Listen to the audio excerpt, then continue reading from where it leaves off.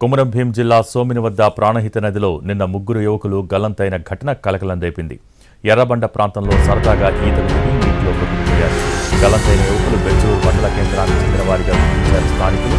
ముగ్గురు యువకుల్లో ఇవాళ జహీర్ మృతదేహం తలాయి ప్రాంతంలో లభ్యమైంది మరో ఇద్దరి కోసం గాలింపు చర్యలు చేపట్టారు అధికారులు.